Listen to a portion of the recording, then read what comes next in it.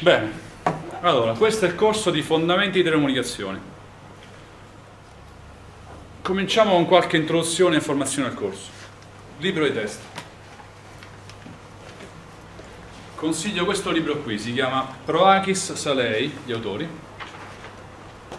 Fundamentals of Communication Systems, Pearson 2013. È in inglese, come vi ho detto in precedenza, ma chiaramente è un inglese piuttosto semplice. È inglese tecnico. Che vi devo dire? Se prendo una pagina a caso e vi leggo The Major Advantage of Conventional AM, Signal Transmission, non credo ci voglia una laurea per capire che The Major Advantage è il maggior vantaggio e of Conventional è della convenzionale, AM, del segnale AM convenzionale, così via. Insomma, questo a dirvi che è un libro in inglese, ma non spaventatevi, è inglese tecnico, e l'inglese tecnico deriva dal latino, quindi è praticamente tutto quanto sono parole che già conoscete. Quindi molto semplice. In maniera del tutto equivalente consiglio il secondo libro che si chiama Communication Systems Engineering, che è sempre degli stessi autori, soltanto l'anno è differente, quello è il 2001. Cosa cambia? Allora, paradossalmente il secondo è più completo del primo, o meglio, il, il primo ha un maggior, maggior numero di cose più recenti, vi faccio un esempio. Addirittura il secondo arriva a parlare di Multicarrier Modulation and OFDM, quindi modulazioni multicarrier e OFDM o altre cose del genere che sono abbastanza recenti e nuove. Mentre sul primo, che è un po' più vecchio, sul secondo, Communication System Engineering, che è un po' più vecchio, non ci sono. Tuttavia questo è un corso che facciamo noi di fondamenti di comunicazione, quindi non arriveremo mai a quel livello di dettaglio. Quindi ai, fine, ai fini del nostro corso, le cose che ci servono a noi stanno su entrambi i libri anzi paradossalmente sul secondo sono affrontati anche in un livello un po' più rigoroso perché qui fa un approccio più semplicistico. Come sapete o come potrei immaginare ci sarà da lavorare con probabilità perché magari sono una probabilità di errore. Trasmetto un segnale ricevo un altro questo segnale ricevo è diverso da quello trasmesso perché c'è l'inevitabile presenza di rumore e magari su 10.000 bit qualcuno lo sbaglio ci sarà un errore quindi c'è intrinsecamente qualcosa di probabilistico, c'è una probabilità di errore. Bene, l'approccio che segue il primo libro, cioè questo qui, è quello di dividere le cose in due campi. Facciamo prima la cosa, l'argomento lo vediamo prima come se fosse deterministico e poi introduco la probabilità e lo rivedo tutto quanto dal punto di vista probabilistico. È un po' uno spreco di tempo. Voi che già avete fatto un corso bello e importante di probabilità, le sapete già queste cose. E allora preferisco approccio secondo, che poi seguiremo noi. Cioè ogni volta si farà un formato di modulazione, poi si vedranno anche le sue prestazioni, che spesso sono date in termini di probabilità di errore, subito. Inutile elencarle tutte quante e poi dopo un mese ricominciare dalla prima per capire qual era quella probabilità di errore. L'avete studiato un mese fa, sarà difficile ricordarsi. Quindi se trovate il secondo va bene lo stesso. Credo sia addirittura presente online sul sito dell'autore, quindi non c'è neanche bisogno di comprarlo. Però non lo so, verificate.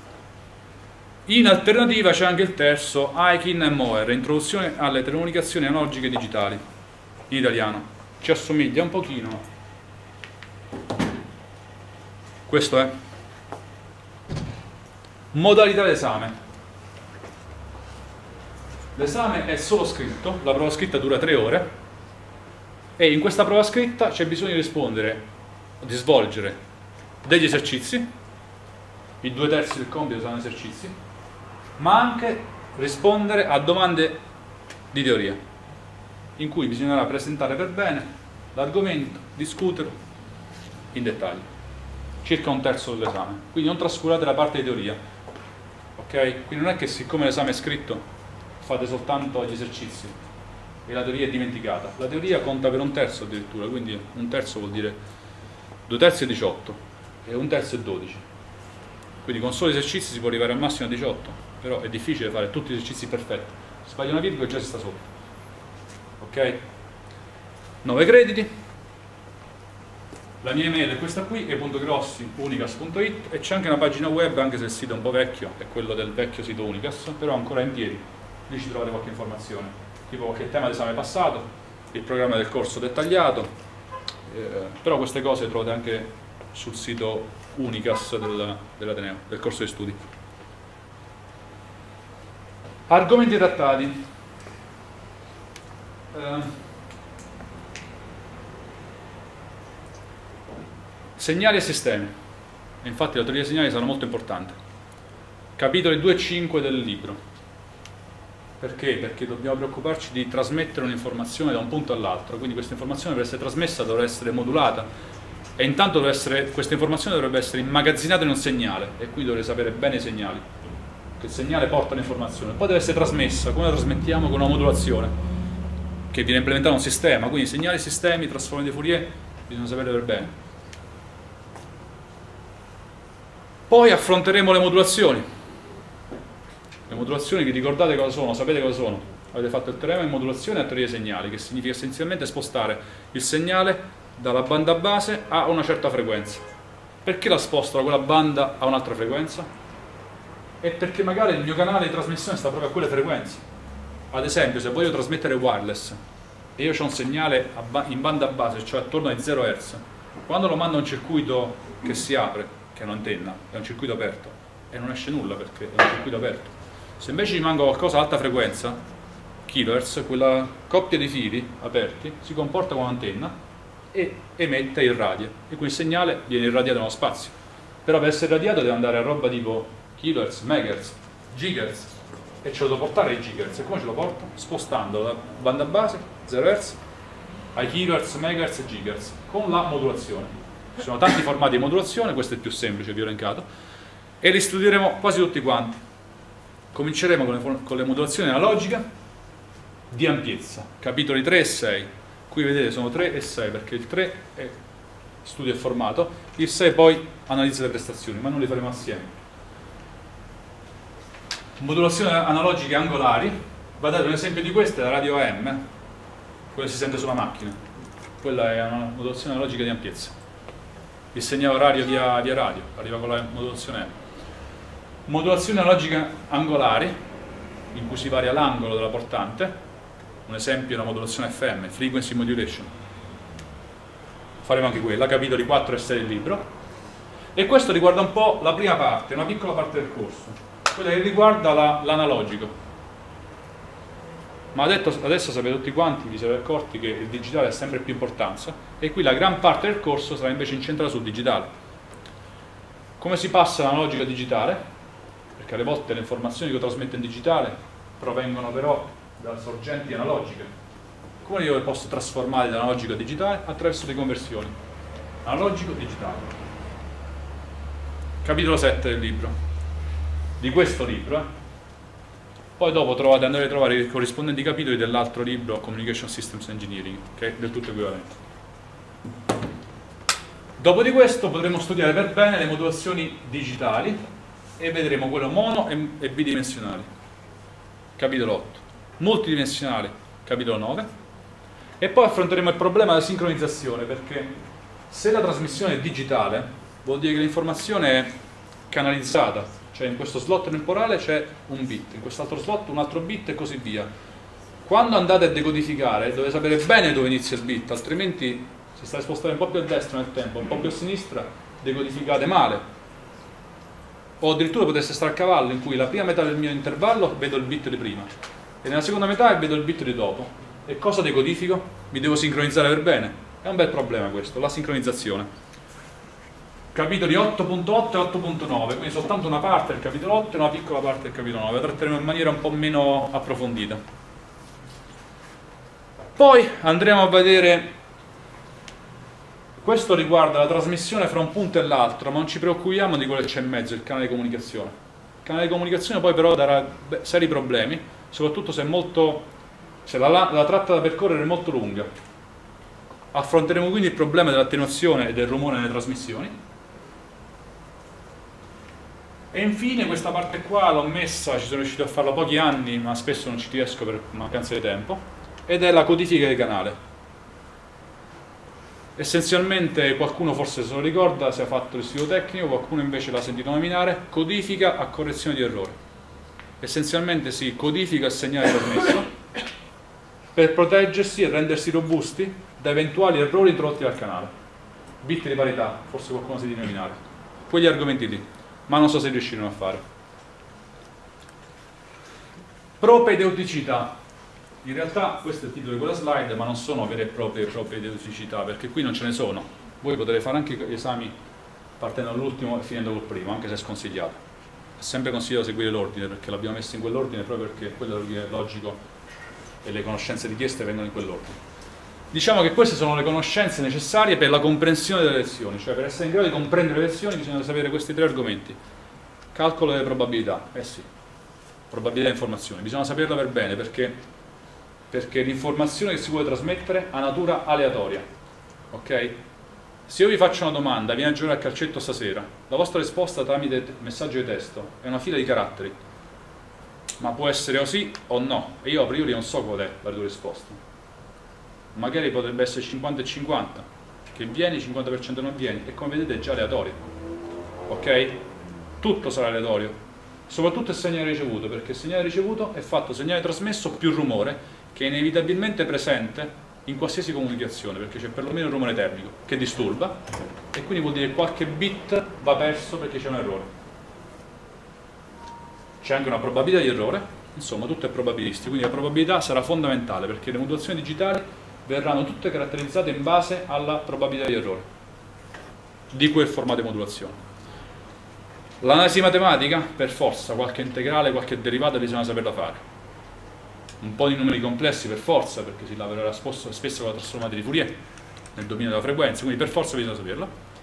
E poi la teoria dei segnali, perché questo è l'esame che viene dopo la teoria dei segnali. La teoria dei segnali ti dice come funzionano i segnali e i sistemi noi dobbiamo prendere quelle conoscenze per imprimerci sopra l'informazione e trasportarla a un altro posto. Ok? Quindi teoria dei segnali bisogna saperla per bene. Questo è un po' tutto quello che c'è da sapere sul corso e niente più. Ora, la rimanente ora sarà semplicemente una breve introduzione alle telecomunicazioni sotto forma di cenni storici. Intanto, telecomunicazione da cosa deriva? È una parola composta, ci sono due, due parti, tele che deriva dal greco, lontano, comunicazione deriva dal latino, comunicare, condividere. Quindi bisogna condividere, si vuole condividere a distanza qualcosa. Che cosa? L'informazione. Le telecomunicazioni nascono dall'esigenza dell'uomo di condividere le proprie idee, le proprie informazioni nello spazio e nel tempo. Perché io posso trasmettere la mia informazione nello spazio, cioè a distanza di chilometri, ma anche nel tempo. La scrivo su un libro e la riapro questo libro fra qualche anno, o su un hard disk e lo rileggo fra qualche mese. Voglio, voglio conservare, quindi tramandare nel tempo o trasportare nello spazio. È indispensabile per ogni società organizzata per soddisfare i bisogni degli individui dei cittadini, per le esigenze dei pubblici poteri, penso che non debba aggiungere altro, insomma le comunicazioni vengono utilizzate dappertutto, sia da un punto di vista di, eh, militare, pubblico, civile, qualsiasi parte. E spesso l'avanzamento dei sistemi di comunicazione è un indice del grado di civiltà raggiunto da una certa società. Quindi è molto importante. Ma per farvi capire quanto è importante questo argomento, cioè l'informazione, che, basta guardare la definizione che hanno dato i sociologi della società dell'era, del momento che stiamo vivendo adesso. La chiamano società dell'informazione. Dopo la società post-industriale c'è la società dell'informazione. Che cos'è? Beh, non c'è una definizione formale. Quello che ho riportato qui è presa da Wikipedia, figuratevi. Leggiamola. La società dell'informazione è una società dove la creazione, la distribuzione, l'uso, l'integrazione e la manipolazione dell'informazione riveste un ruolo significante dal punto di vista economico, politico e culturale. Ok? Ciò che guida questa società sono l'ICT, Information and Communication Technologies, quindi tutte le, le tecnologie di informazione e comunicazione. Quanto sono importanti? Beh, ve lo faccio vedere con un grafico che spesso faccio vedere quando facevo orientamento. Questa è una tabella dei, che classifica eh, i 10 titoli azionari che hanno maggior capitalizzazione al mondo. Ok? Quindi dal primo al decimo, quello è il titolo che andiamo a analizzare è presa da, da solo 24 ore, però dell'anno scorso, 2018, però non credo siano cambiate molto le cose. È soltanto darvi però un esempio di, di quanto veramente sia importante l'informazione nella società odierna. Quello che c'è a fianco invece è il, il, la capitalizzazione in milioni di euro, quindi quelli sono 588 mila milioni, quindi sono 588 miliardi di euro. La prima azienda per capitalizzazione in borsa è ha una capitalizzazione di 588 miliardi di euro. Sappiate che il PIL dell'Italia sarà roba tipo 1800 miliardi? Il PIL di molti stati mondiali non arriva a 588 milioni, miliardi di euro. Una quantità enorme, enorme. E guardate un po' chi è Apple. I secondi due sono Alphabet C and A e Google. Poi c'è Microsoft, e poi la c'è un title perché quello non è ben Berkshire, è Berkshire, quindi sono, è una holding finanziaria che possiede tante altre società. Finalmente c'è una società che non è una società di information and communication technology. Poi Exxon, oh, finalmente una società petrolifera, in realtà Exxon Mobile, mobile, mobile. E poi di nuovo Amazon, Facebook. Bene, 1, 2, 3, 4, 5 6 delle aziende, 6 su 10 delle aziende a maggior capitalizzazione al mondo sono aziende che lavorano nel mondo dell'information and communication technology, ICT, ICT. Questo dovrebbe darvi un'idea di quanto sono importanti le comunicazioni nel mondo adesso ed è per questo che ci troviamo nella società dell'informazione. Pare che una stima del denaro speso nel campo, nel campo ICT nel 2017 è in 3.800 miliardi di dollari nel mondo.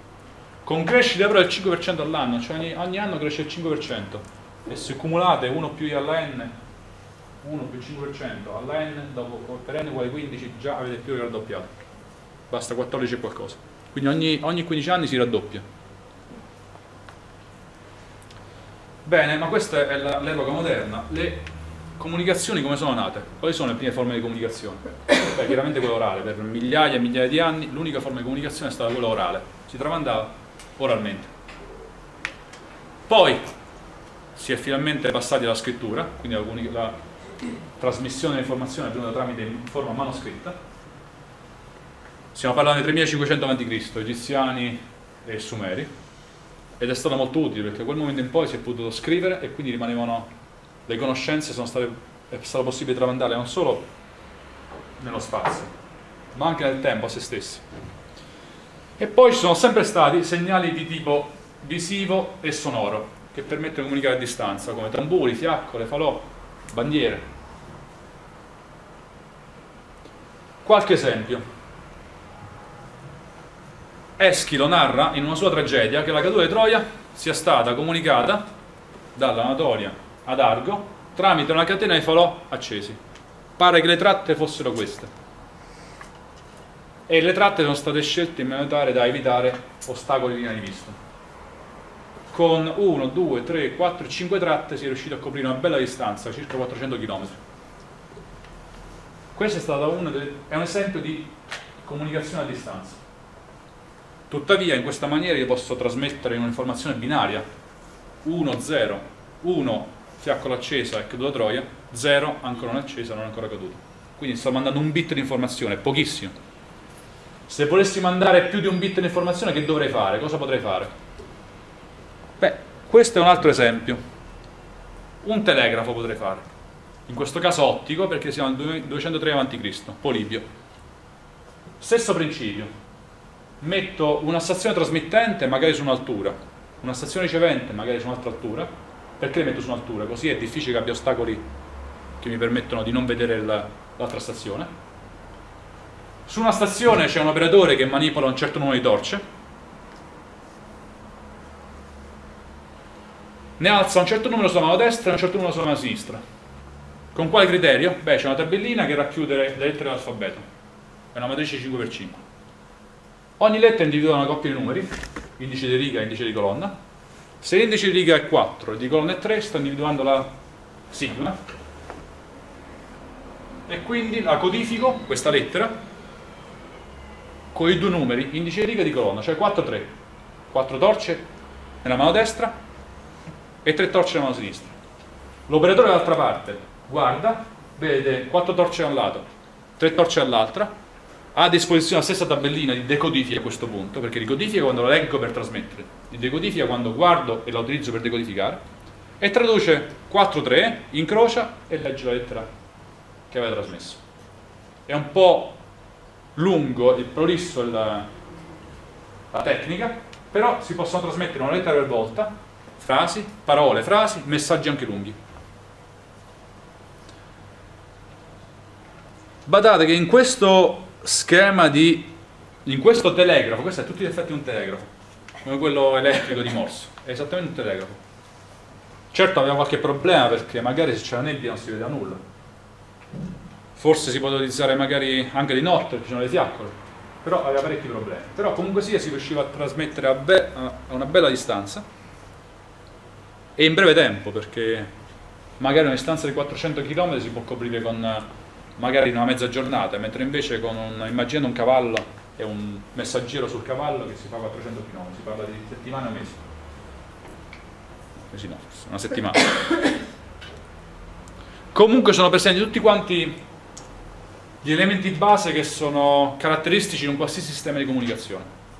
Ci sta un alfabeto di sorgente, che sono essenzialmente le lettere e i simboli da trasmettere, in questo caso sono proprio lettere.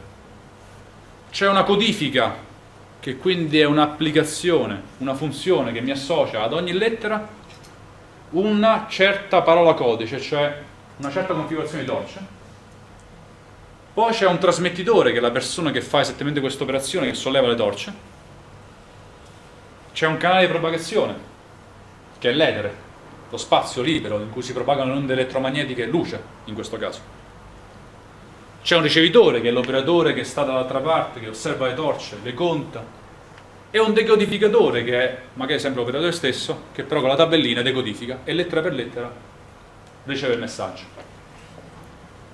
Badate, questi blocchi sostanziali che costruiscono questo sistema di comunicazione sono gli stessi che caratterizzano qualsiasi sistema di comunicazione, anche i più moderni di oggi. Possono essere rappresentati da questi blocchi qui che vi ho appena descritto. Bene, questo telegrafo ottico di Polidio, 203 a.C., è stato il meglio che si riusciva a fare per parecchi anni, per un paio di migliaia di anni. Tant'è vero che in questa slide qui vedete il telegrafo ottico sempre di Chappé, credo si pronunci così, è francese, se qualcuno ha fatto il francese mi può correggere, 1793. Il principio è lo stesso, solo stavolta non si usano fiaccole, ma si usa una una torre con delle pale sopra e a seconda della conformazione che la pala assume nello spazio, io ad ogni conformazione associo una lettera. Basta con la tabellina di conversione e deconversione e io posso trasmettere a distanza. Le stazioni possono essere distanti anche 30 km. Perché 30 km? Eh, perché poi a un certo punto in poi ci sta la curvatura della, della superficie terrestre e oltre non posso andare. Ma in ogni caso magari se anche ci potessi andare oltre un certo limite è anche difficile vedere, mi posso aiutare un canocchiale ma non è che posso andare così lontana, ma in ogni caso una stazione distante dall'altra, 30 km, è comunque notevole. La prima linea fissa è Parigi-Lille, 1794, e giusto per darvi un esempio, il tempo di trasmissione Parigi-Tolone è stato ridotto da giorni a 20 minuti soli per un, trasmettere un messaggio, quindi un guadagno mostruoso. Si potevano fare operazioni in, quasi in tempo reale. Immaginate che dovevate, non so, muovere un esercito e mandare un ordine. Una cosa è mandarlo in giorni e una cosa è mandarlo in 20 minuti questo messaggio. Immaginate dovete fare una transazione e comprare delle azioni, anche all'epoca si compravano. Una cosa è fare in giorni, adesso si fanno le transazioni online in nanosecondi, millisecondi, perché in secondi è ancora troppo lento. All'epoca la differenza tra farla in 20 minuti e in giorni era, era cruciale. Forse avete visto anche questa cosa qui in un film, libro, Il Conte di Montecristo, se qualcuno l'ha letto ricorderà che in una delle sue vendette su uno dei suoi aguzzini nel passato si vendica facendogli perdere tutto e lo fa come? Prego? Operazioni della banca. Esatto, gli, dà informazioni sbagliate, gli costringe e lo, lo convince a comprare delle azioni che però in realtà stavano andando molto male e per convincerlo fa un po' l'eavesdropper perché fa l'agere del, del tempo perché corrompe uno di questi operatori di una stazione, fa trasmettere il messaggio sbagliato, quello in cui quelle azioni stavano salendo di parecchio, lo convince quindi a comprarle, le compra ci investe quasi tutto e poi perde tutto perché invece era un'informazione falsa che lui aveva inserito. Questo è uno dei problemi di questo metodo di trasmissione, è facile che tu corrompi le informazioni. Qualsiasi persona può andare lì, mette un coltello alla gola all'operatore e carpisce l'informazione, quindi non è segreta l'informazione. È un problema che abbiamo anche adesso. Non solo, non anche, questo non funziona anche di notte.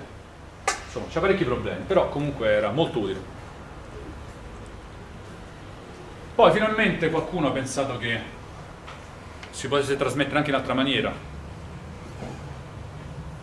che non sfruttasse le onde elettromagnetiche luce, ma sfruttasse altre onde elettromagnetiche. Qui stiamo parlando del telefono elettrico, quindi stiamo su altre frequenze, molto più basse.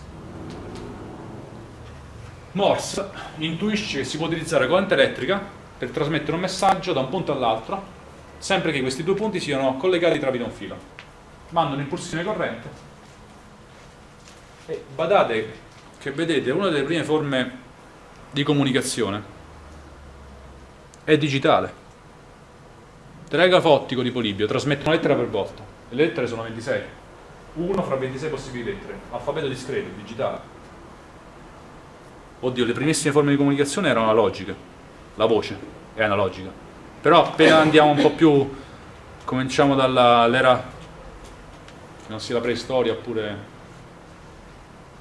ancora prima, le prime forme di comunicazione sono digitali, lettere col telegrafo ottico, lettere col telegrafo ottico e Chappé e ancora qui il telegrafo elettrico sono ancora simboli perché si trasmettono gli impulsi, impulso breve e impulso lungo, punto e linea, due possibili impulsi, quindi è digitale l'informazione mandata. In realtà non è binaria, binaria è un solo bit, 0 e 1 tratto e punto, impulso lungo e impulso, lungo, e impulso breve, in realtà non è proprio binario, perché ci sono cinque possibili simboli che si trasmettono nel, nel codice Morse e sono l'impulso breve, l'impulso lungo, l'intervallo breve, l'intervallo medio e l'intervallo lungo, sono cinque possibili simboli, quindi non è un alfabeto binario, due possibili simboli, anche se si può fare anche binario. Però già c'è una cosa molto molto importante nel codice di Morse, in che senso nel codice? Perché qui stiamo parlando del telegrafo elettrico di Morse, che è l'idea di trasmettere informazione tramite un impulsino di corrente elettrica su una linea. Però con quale regola si associano le lettere agli impulsini? Con un codice, che lui stesso si è inventato. E come l'ha inventato? A lunghezza variabile, vedete? Non tutte le lettere hanno la stessa stringa giustamente ha fatto un'analisi statistica, ha visto che alcune lettere nell'alfabeto inglese sono utilizzate molto più spesso di altre lettere, le vocali, e allora a quelle lettere molto più utilizzate gli ha dato una stringa di codice molto più corta, a quelle lettere meno utilizzate come la Q gli ha dato una stringa di codice molto più lunga, perché non può darla corta a tutti quanti, hai soltanto due simboli. Se do un puntino alla E, un, un trattino alla A, e poi dopo ho finito perché se voglio dare un altro eh, parola codice lunga 1 c'è sempre puntino trattino, sarebbe, mi ripeterei, quindi sarebbe, non, sarebbe, non sarei in grado di capire cosa è stato trasmesso. Quindi se qualche lettera è molto corta, la E, un solo puntino, vuol dire che qualche altra lettera deve essere forse molto lunga, la Q per esempio, la P e così via. Questo è un codice di lunghezza variabile. Quindi un'altra idea molto, questa è compressione dati ragazzi, l'idea che sta alla base della, della compressione dati, quindi file zip, sfruttano questa idea qui. Quindi anche questo telegrafo elettrico già racchiude tantissime, eh, quasi tu, tutte esattamente gli stessi blocchi che sono presenti in un moderno sistema di comunicazione. Qualche informazione storica, più che altro curiosità, 1847 il primo esperimento Pisa-Livorno. Ah, ah, scusate, eh, qui non ci ho messo nulla, ora stiamo anche riprendendo. Non ho messo le fonti, ma le fonti sono prese dal web, quindi ci sarà qualche immagine che sta presa a Wikipedia, qualche altra immagine sta presa altrove, quindi c'è copyright qui sopra. Però non è che la stanno utilizzando per vendere, sono soltanto informazioncine di, molto di basso livello, è soltanto un'introduzione storica, quindi noi soprastiamo tranquillamente. Uh, 1849, linea Innsbruck-Verona. Inizialmente uso militare perché le comunicazioni più importanti sono andate in questa maniera. Nascono stesso per uso militare. Internet nata dall'ARPA, ARPANET quindi prima militare e poi dopo si diffonde. E così via. Però è interessante vedere che nel 1861 c'erano 355 uffici e 16.000 km di linee dieci anni dopo 1237 uffici telegrafici e 50.000 km di linee perché poi dopo si scopre che sono molto utili e vengono utilizzate dall'Italia all'estero, al di fuori d'Italia in Europa e poi dall'interno del continente europeo in altri continenti, anche separati da un oceano. Come fai a collegare due punti separati da un oceano con cavi sottomarini a questo punto? E questo è un esempio, qui siamo nel 1858, sempre se le date sono corrette, ma insomma. Come vedete dalla distribuzione delle linee è interessante vedere che essenzialmente sono linee che collegano la madrepatria con le colonie. L'Inghilterra con l'America, l'India, l'Australia, la Spagna, Portogallo con il Sud America. Essenzialmente all'inizio servivano per controllare le colonie e per avere informazioni commerciali e scambi commerciali con le colonie. Poi però chiaramente l'utilità di queste forme di comunicazione è immensa e quindi è, è esplosa. Ulteriore avanzamento, fino adesso abbiamo visto collegamenti, non fino adesso, abbiamo visto sia wireless che wired. Il telegrafo ottico di Polibia era wireless, non aveva mica dei cavi. Poi quello elettrico è wired, quindi è nato anche qui, prima il wireless e poi il wired. E poi di nuovo il wireless, perché hanno fatto il telegrafo elettrico ma senza fili. Essenzialmente Marconi è accreditato come quello che l'ha inventato, anche se ci sono anche molte altre persone che ci hanno lavorato. Ho utilizzato una stazione del genere per trasmettere e ricevere un segnale, essenzialmente ha sfruttato il fatto che una lamiera quando viene investita da un'onda elettromagnetica genera una corrente indotta che chiusa in un circuito può essere letta e quindi posso mandare un impulso lungo e un impulso breve, esattamente come ho fatto, facevo col, col telegrafo elettrico, col wired, quello di Morse. Ci sono tante altre persone che ci hanno lavorato, Hughes, Hertz, Nico, Nikola Tesla, Bose che era indiano, Popov, Brown, Edison, tantissime persone. Ma pare che insomma Marconi è quello che ci ha fatto uno dei primi brevetti. Tra l'altro l'ho anche proposto allo Stato italiano all'epoca, ma lo hanno preso per pazzo. E infatti si è rivolto all'Inghilterra e lì l'hanno accolto a braccia aperte e lì ha fondato una bella grossa compagnia. Chiaramente una volta che uno è stato in grado di trasmettere senza fili punti e linee, quindi un segnale digitale, poi il passo successivo per trasmetterci una forma d'onda continua, la voce umana o della musica è breve e quindi la radio. Primo esperimento Fessenden, Canada, 1900, trasmette un breve messaggio vocale a un chilometro e mezzo, ma già dopo sei anni, vedete, c'è il primo programma radiofonico a 25 km, Massachusetts. Ma torniamo un attimo indietro, perché prima di farlo wireless, il salto da digitale analogico, cioè da punti e linee digitale, telegrafo elettrico, a eh, analogico, la voce, sul wireless, questo passaggio è stato fatto sul wired, cioè il telegrafo elettrico si è trasformato, che trasmetteva punti e linee, segnale digitale, si è trasformato in telefono, perché trasmetteva il segnale vocale. I primi studi sono stati fatti da Meucci e in realtà da tante altre persone, anche qui, noi riconosciamo Meucci come essenzialmente l'inventore del telefono, ma ci hanno lavorato parecchie altre persone. Essenzialmente che cosa ha fatto? Anche lui ha sfruttato questo fatto, cioè le vibrazioni di una membrana causate dalla voce. Io parlo, per parlare comprimo i polmoni con il diaframma, l'aria esce fuori dalla bocca, passa attraverso le corde vocali che vibrano a una certa frequenza le particelle d'aria davanti alla mia bocca cominciano a vibrare a quella stessa frequenza. Se io mi diagrammo, ogni volta la particella va in avanti, comprime l'aria in avanti. ogni volta che va indietro c'è una depressione e se io diagrammo l'andamento della pressione come varia nel tempo di questa particella, quella varia nel tempo esattamente come variano le corde vocali nel tempo, la vibrazione. Qui il segnale vocale è essenzialmente un segnale di pressione che quando urta una lastra comincia a oscillare e se io diagrammo lo spostamento della lastra nel tempo, c'è lo stesso andamento. Quando la particella va in avanti, aumenta la pressione e la piastra si sposta in avanti. Quando la particella va indietro, diminuisce la pressione e la piastra va indietro. Quindi le oscillazioni, i cambi di pressione sono uguali ai cambi di, sposta di spostamento della lastra e quindi si può catturare il segnale vocale. Questa lastra magari la potrei collegare a un cilindretto a cui è legato un sacco di spire. Il cilindretto fa avanti e indietro dentro le spire. Più spire con catena e più flusso indotto genera e più corrente indotta genera appunto.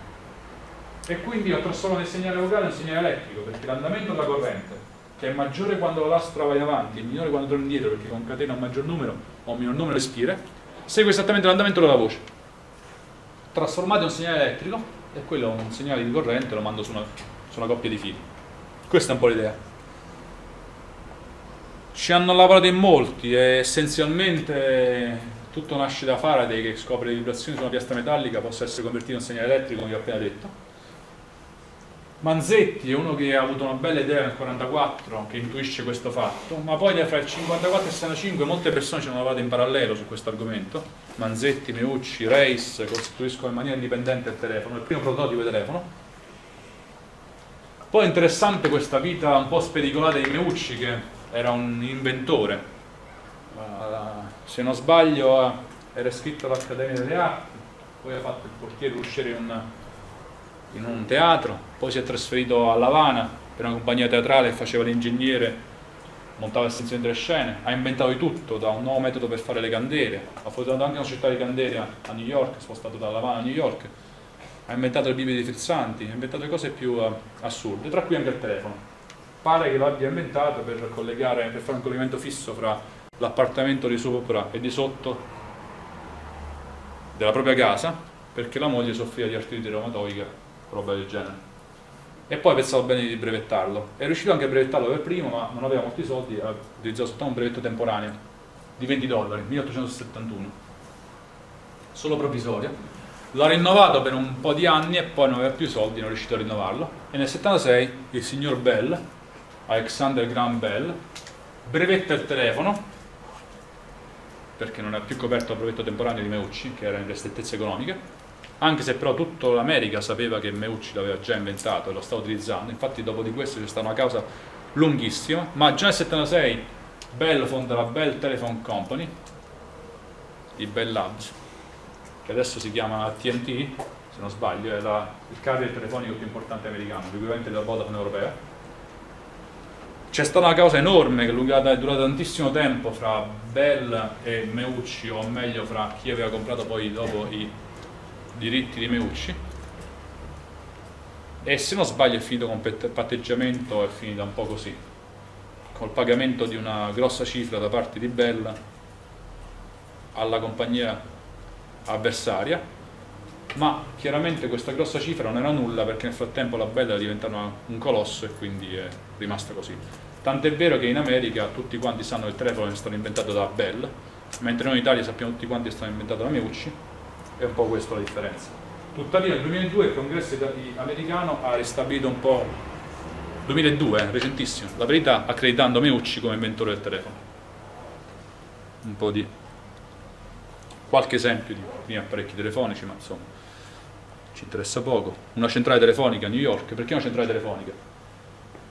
È perché all'inizio il telefono è utilizzato come interfono tra un appartamento e l'altro di casa, poi dai dagli industriali che volevano collegare le varie eh, sedi di una stessa azienda. Poi però si è diffuso tantissimo e a quel punto non si poteva collegare ogni apparecchio telefonico del mondo con ogni altro apparecchio telefonico del mondo.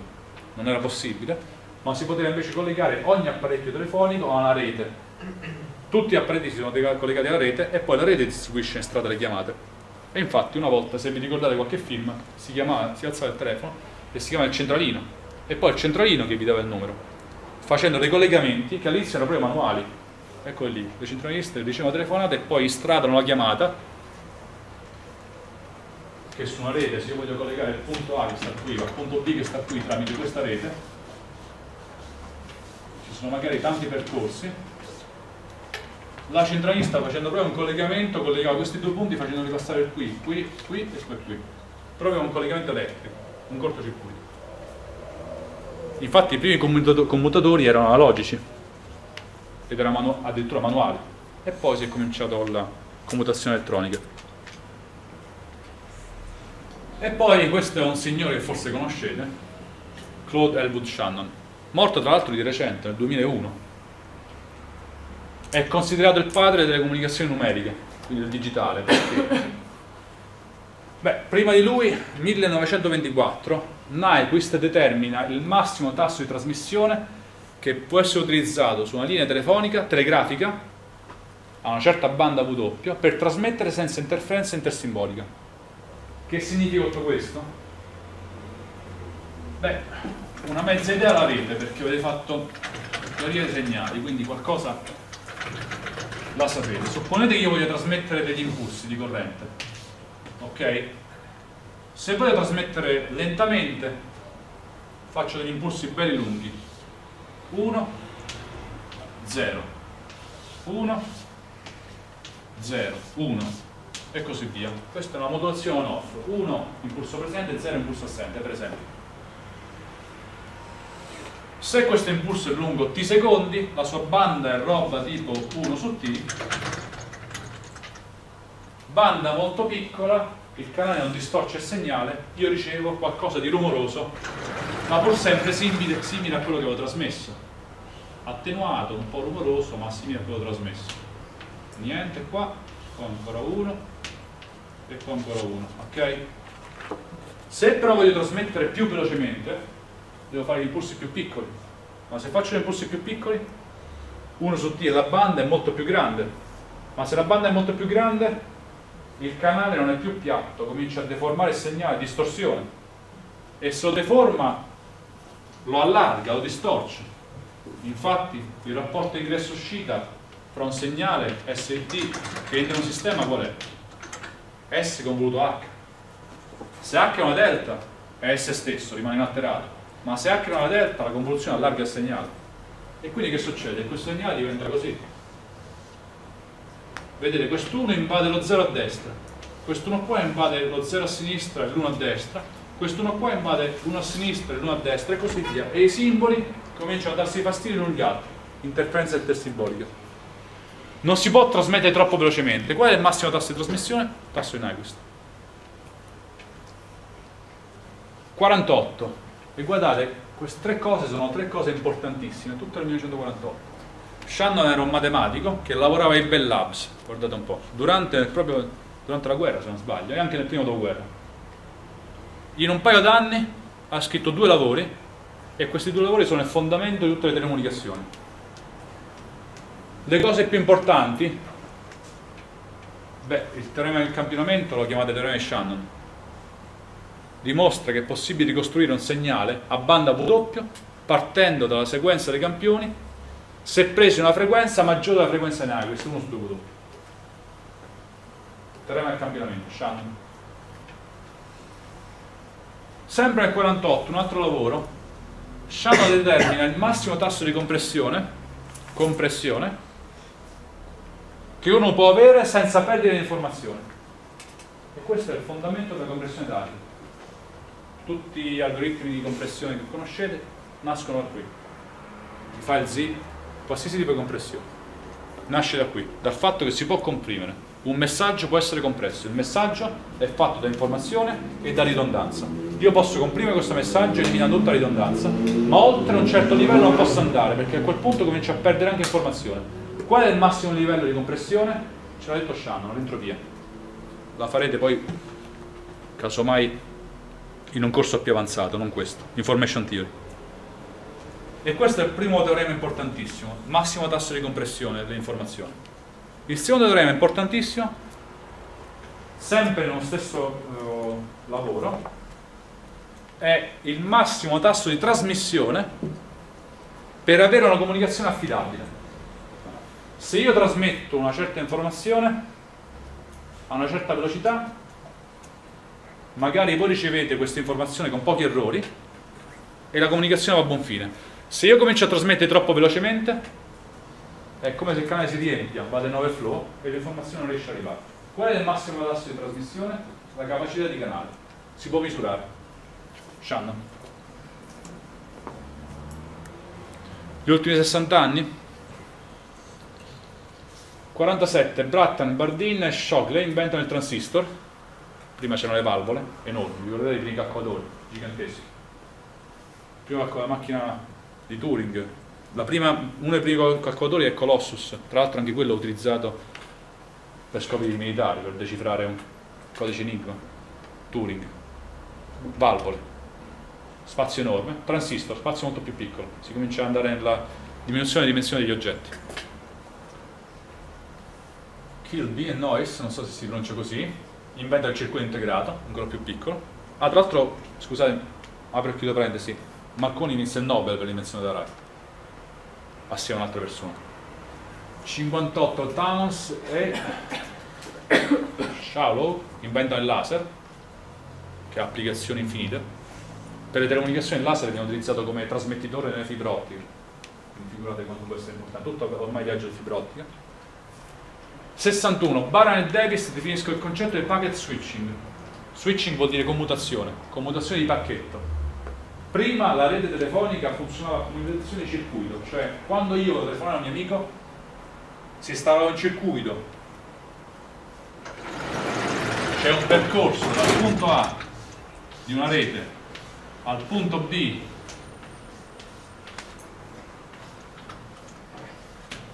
di questa rete si sceglieva un percorso con qualsiasi criterio e il circuito veniva aperto, rimane aperto per tutto, rimane tutto aperto per tutta la durata della comunicazione. Commutazione nel senso scelgo gli interruttori per fare quel percorso, di circuito perché stabilisco un circuito. Qualità eccezionale perché quel circuito è solo mio. Problema che quando io sto zitto non posso mettere nulla e magari quel circuito potrebbe utilizzare qualcun altro. Quindi un uso inefficiente della rete di qui del packet, packet, switching. Cioè questo messaggio, che io sto, la mia, la mia parola, la mia comunicazione, io sto parlando, dividere un pa questo pacchetto, dividere in tanti pacchetti più piccoli, numerali e mandali sulla rete.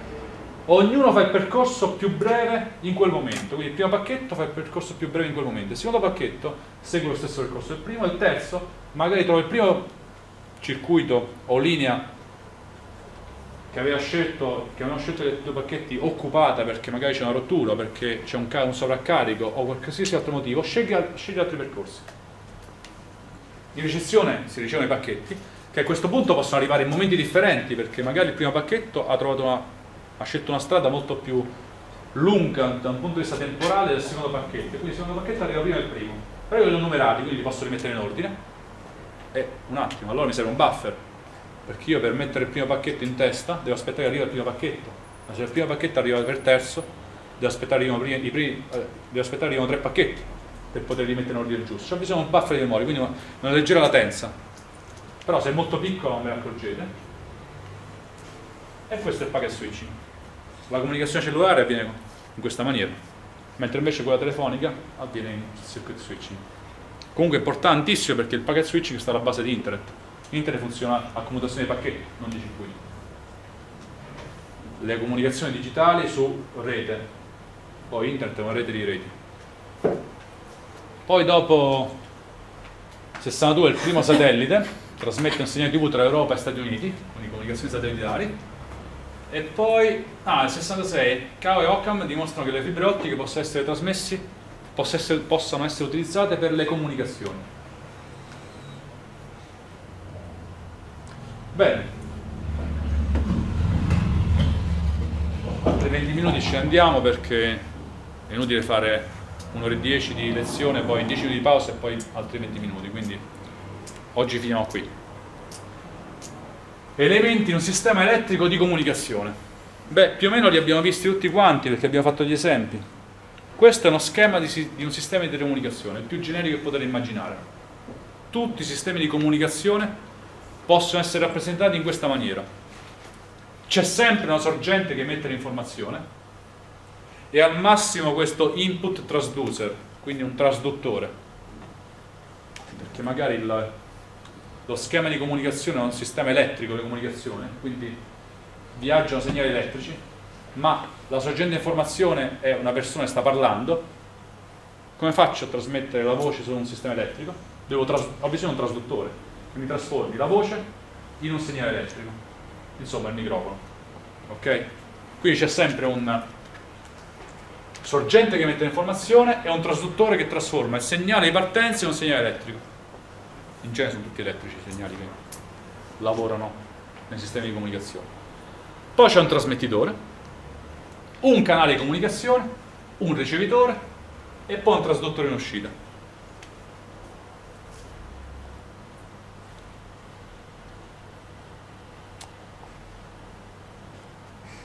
Giusto per darvi un'idea, il telegrafo ottico di Utilio aveva come sorgente di informazione la persona voleva mandare un messaggio, mandate dei rinforzi. Come trasduttore poteva essere la conversione da lettere a fiaccole trasmettitore poteva essere la stazione che alzava le fiaccole, l'operatore. Il canale era l'etere che trasmetteva il segnale luminoso, il ricevitore e il decodificatore. Esattamente gli stessi blocchi. I sistemi di comunicazione possono essere analogici e digitali. In cosa si differenziano? Essenzialmente nel tipo di segnale che questi sistemi emettono, lavorano. In un sistema analogico il messaggio informazionale è analogico. In un sistema digitale il messaggio informazionale da trasmettere è digitale. Questo messaggio digitale da trasmettere può, però può essere intrinsecamente digitale, per esempio un messaggio di testo. Se io mando un messaggio di testo, quello è digitale, sono caratteri. Oppure può essere un segnale analogico che è stato trasformato in digitale. Per esempio una fotografia che viene, che, oppure la voce che viene campionata e quantizzata e diventa digitale. Una fotografia viene scannerizzata, diventa una matrice pixel digitale. Okay? Quindi l'informazione può essere su cui lavora un sistema digitale è digitale, ma quell'informazione può essere digitale perché era proprio di partenza oppure perché era analogica ma è stata convertita in digitale. Per motivi, e ci sono molti motivi per convertirla in digitale, ne vedremo anche uno a breve. Qualche a breve. E allora ecco lo schema di comunicazione del sistema digitale. Questo sì che il, si può utilizzare ancora meglio per descrivere il telegrafo ottico. C'è sempre una sorgente che, che produce l'informazione e un trasduttore d'ingresso. Questo blocco qui è un blocco opzionale, fa la compressione dati, source encoder, codifica di sorgente, comprime i dati, perché vorrei comprimere i dati? Perché più è piccolo più lo posso trasmettere velocemente. Immaginate questi dati come valigie che viaggiano in aereo. Più è piccola la valigia e più la posso riempire. Cioè più comprimo i miei panni da mettere dentro la valigia e più ce ne posso mettere dentro. O meno mi costa il viaggio a parità di poi c'è un secondo blocco quindi questo blocco essenzialmente prende il messaggio in ingresso che è fatto da una parte informazionale e da ridondanza elimina ridondanza fa rimanere solo informazione pura codifica sorgente compressione dati poi il secondo blocco si chiama codifica di canale. Che cosa fa la codifica di canale? Esattamente il contrario di quello che ha fatto la codifica sorgente. Introduce ridondanza, ripetizione, per rendersi robusto dalle interferenze degli errori introdotti dal canale. E a questo punto qualcuno si potrebbe chiedere ma come? C'erano già della ridondanza, perché le tolte e adesso la introduce? Un esempio di compressione se io dovessi trasmettere la parola quadro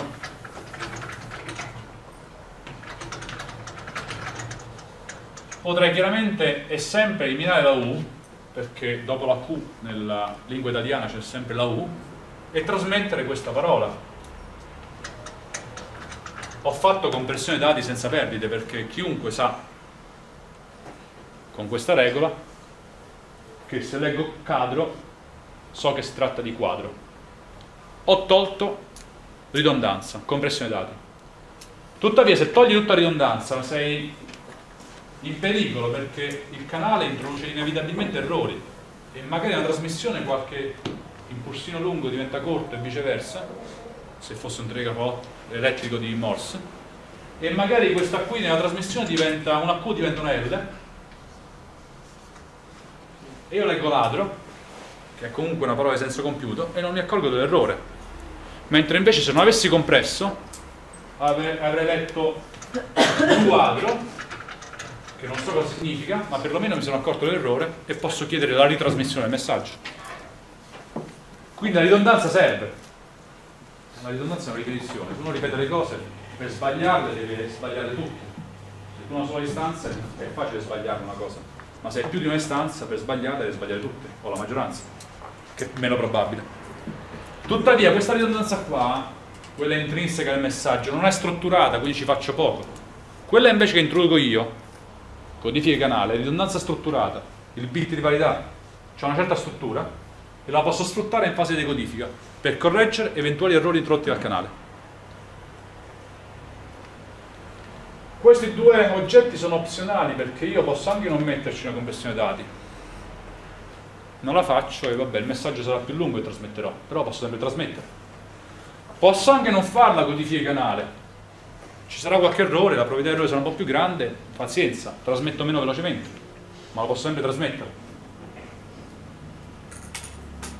E poi modulazione. Il modulatore che cosa serve? Il modulatore adatta il segnale da trasmettere alle specifiche del canale. L'esempio, l'antenna che ho detto prima. Se io ho un segnale che è il segnale vocale e ho banda 4 kHz, 4 kHz, va da 0 da 300 a 3300 Hz, il grosso. Andiamo pure da 0 a, 400, a 4000 Hz, 4 kHz. Se io quel segnale la mando su un'antenna e non esce proprio nulla dall'antenna perché l'antenna trasmette se gli mando un segnale ad alta frequenza, alla giusta frequenza. Lo devo mandare a quella frequenza lì. Ma, altro esempio, e chi è che ce lo manda? Il modulatore. Un altro esempio potrebbe essere la canalizzazione radio. Ci sono tanti canali radio, a me sta assegnato il canale X e io ci devo portare il mio segnale che sta in banda base sul canale X. Come ce lo porto? Con una modulazione. Lo prendo e lo sposto in frequenza a quella frequenza. A questo ci pensa il modulatore. Poi c'è il canale di trasmissione che trasmette questo messaggio al ricevitore. Il ricevitore è dotato di un demodulatore che riporta in banda base, di una decodifica di canale che toglie la ridondanza introdotta da me e corregge o rileva, rileva e magari anche corregge eventuali errori introdotti al canale,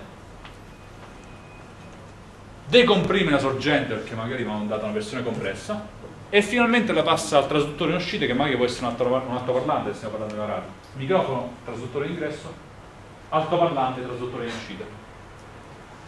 E un ulteriore blocco opzionale che quasi spe molto spesso c'è è il blocco che fa la crittografia che chiaramente lo metto qui dentro fra il source encoder e il channel encoder la crittografia che cosa fa?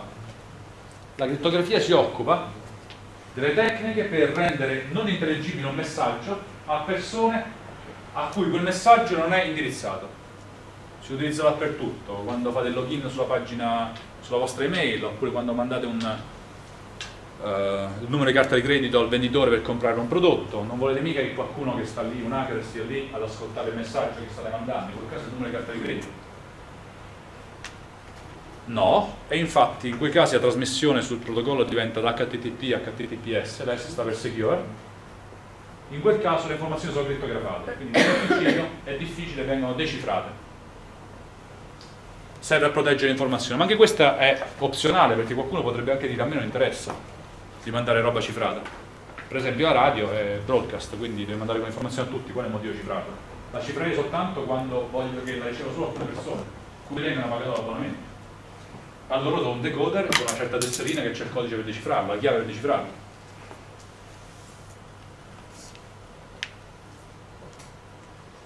Vantaggi e svantaggi del digitale, perché qualcuno si potrebbe chiedere come mai si pass sta passando sempre più in maniera insistente verso le comunicazioni digitali. Beh, i vantaggi sono tanti. Maggiore robustezza al rumore. Perché? Grazie alla codifica dei canali, io posso fare codifica dei canali, introdurre questi bit di parità e mi aiuto a correggere eventuali errori introdotti al canale, che posso quindi eliminarli, mentre invece se fosse analogico non potrei farlo le comunicazioni digitali sono più robuste al, al rumore, perché posso utilizzare codifiche canale. Ah, scusate, prima di elencare i vantaggi, voglio farvi presente che questo oggetto qua, la codifica sorgente, la vedete in un'altra materia, Information Theory. Questo oggetto qua, la codifica canale, la vedete in un'altra materia, Information Theory. Questo oggetto qua, la crittografia, la vedrete chi la sceglierà in un'altra materia, Cryptography and Network Security, Cyber Security, esame scelta la magistrale, mentre, mentre l'altro invece Information Theory è un esame obbligatorio alla magistrale in TLC, obbligatorio alla magistrale in informatica. I segnali sistemi li avete visto a teoria dei segnali. Noi qui in questo corso essenzialmente faremo questo, modulatore e demodulatore. I canali fisici poi vedete altre materie, le antenne, eh, i cavi, le guide d'onda. Torniamo un attimo indietro, oppure andiamo avanti. Altro vantaggio enorme è l'indipendenza del tipo di segnale da trasmettere nei sistemi digitali.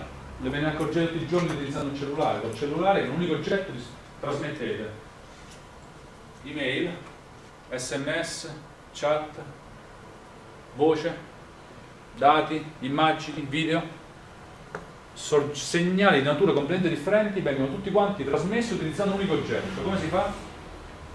Il digitale te lo permette questa opzione perché una volta che il segnale analogico è stato convertito in digitale è diventata una stringa di bit, di simboli. Ora questa stringa di bit rappresenta un'immagine, rappresenti una voce oppure un sms un messaggio di testo al sistema non importa, lui vede soltanto una stringa di bit, quindi con un unico sistema potete trasmettere segnali di diversa natura, quindi gran, grossa versatilità. Chiaramente proprio per questo motivo che si possono utilizzare segnali grossa è indipendente dal tipo di segnale, quindi è molto versatile, posso utilizzare un unico oggetto per fare tante cose, e allora quell'oggetto lo posso fare in serie, e quindi posso utilizzare circuiteria a basso costo, perché viene prodotto su larga scala. Possibilità di effettuare compressione dati, perché io posso fare, avete visto, no? Formato MP3 e MP4 è un formato di compressione lossi, quindi con perdita. Formato di compressione zip è un formato di compressione bzip, gzip eh, e tutti gli altri acronimi che voi sapete meglio di me, sono formati di compressione lossless. TIFF è un formato di compressione per immagini lossless, quindi senza, senza perdite ma si può fare perché è digitale l'informazione. E possibilità di comunicazione sicura tramite la crittografia. Perché una volta che ho una stringa di bit, io posso moltiplicare quella stringa di bit, bit a bit per una chiave, che conosco solo io, e per decodificarla c'è bisogno di quella chiave. Quindi comunicazione sicura. Chiaramente ci sono anche dei contro, però i contro sono meno dei pro, dei vantaggi. Gli svantaggi sono in genere una maggiore banda, perché una volta convertite dall'analogico al digitale quel segnale vedremo si allargherà in banda, quindi serve una banda maggiore e quindi occupa più risorse. Le risorse mie sono la potenza che utilizzo per trasmettere perché mi costa batteria, mi costa energia e la banda che occupo perché occupo una certa banda sul canale che voglio utilizzare anche le altre quindi mi costa. Questi sono eh, gli oggetti che più sono importanti e quindi uno svantaggio è l'utilizzo, l'impiego maggiore della banda un altro svantaggio è che necessitano di una sincronizzazione, perché chiaramente il bit comincia a un certo istante di tempo e devo sapere quando comincia per cominciare a decodificare quel bit.